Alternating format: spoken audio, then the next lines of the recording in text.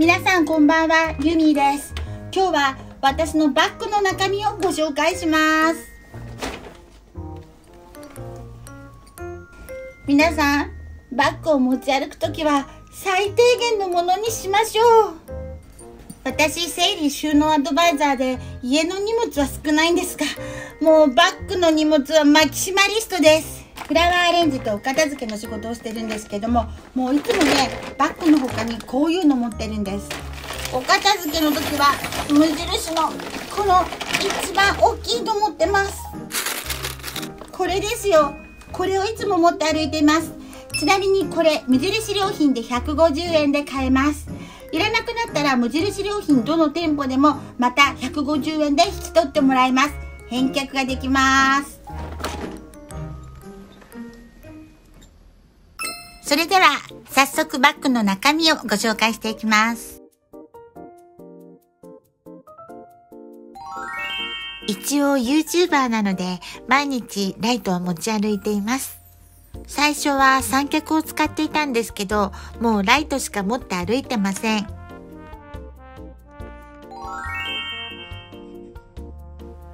雑貨屋さんで買ったポーチです。ポーチをいっぱいバッグの中に入れています。まず1個目です。この中には先ほどの照明のバッテリーを入れています。雑貨屋さんで買った腕時計です。夏は汗をかいてしまうので、外してバッグの中に入れています。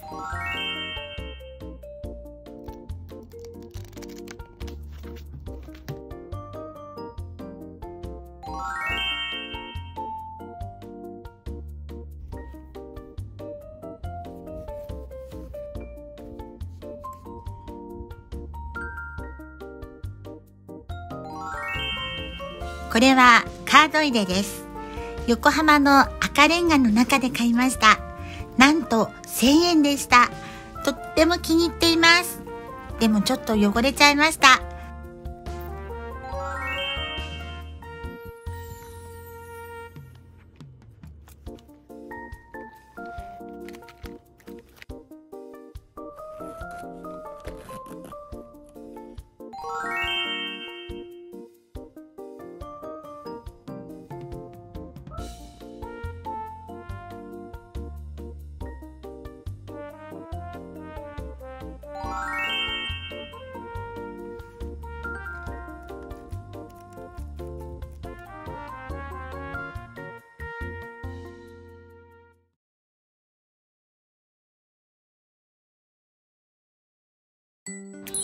ここで私が持っているバッグのご紹介をします。半分堂というところでフラワーアレンジのワークショップを開催させていただいております。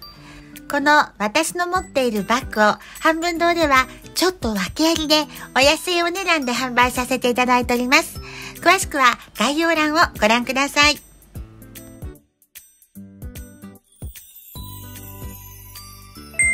先日半分堂でエスタションのイベントがありました。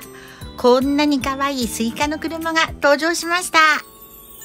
今私は高見さんとご一緒にお片付けのお仕事をやっています。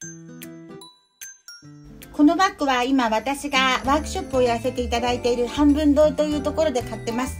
通常よりすっごいお安く買わせていただいてます。もしよかったら商品たくさん置いてますので半分堂へお越しください。それではバッグの中身の続きです。こちらはアフタヌーンティーで購入しました。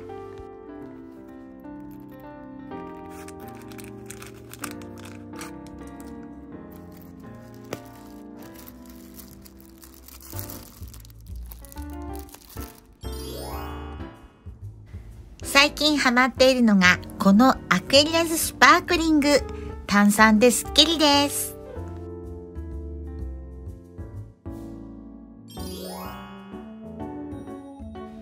これはセリアのパスケースです。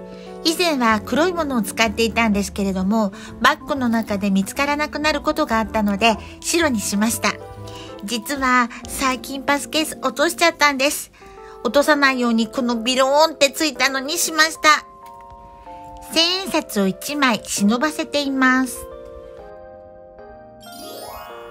セリアの名刺入れです。これから新しい名刺に作り直します。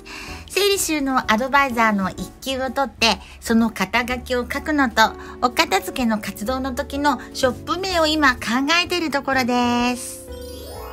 セリアで買ったポーチです。と言っても本当はマスク入れなんです。これは高見さんが作ってくれたお守りです。このお守りを持っているとびっくりするようないいことが起こるよって言ってくれて私に作ってくれました。中には領収書とハンコを入れています。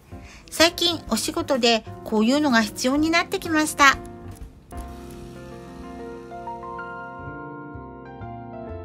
普段私はシンプルな色の洋服を着ていることが多いです。なのでこうやってアクセントカラーがあるととっても可愛いです。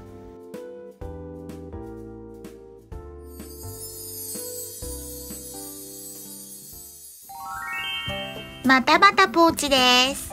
こちらのポーチには文房具を入れています。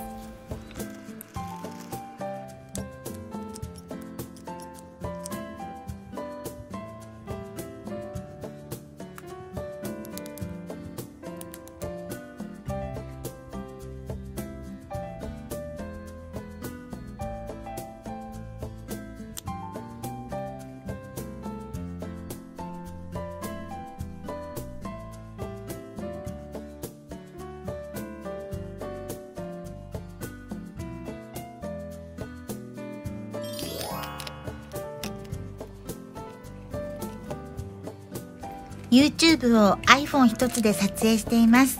なのでバッテリーはたくさん必要なんです。この無印のバッテリー、アンカーのものなんですけれども、いつも完売していて2ヶ月待ちでやっと買えました。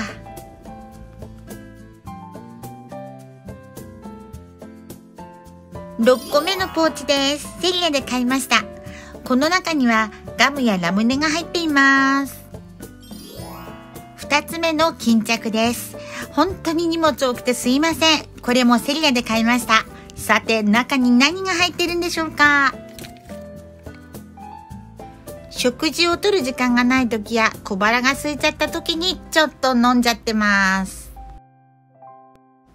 あともうちょっとだけお付き合いください。暗くなってきちゃったので、ライトをかき集めて綺麗に並べてみました。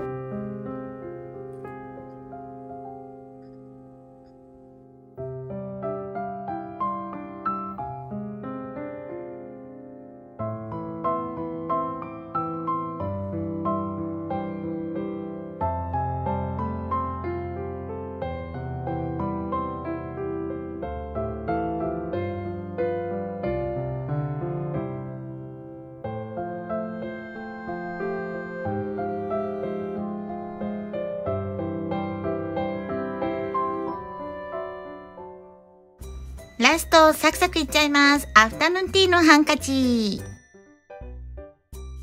7個目のポーチ、薬を入れてます。合鍵も入れてます。いよいよ最後、エコバッグです。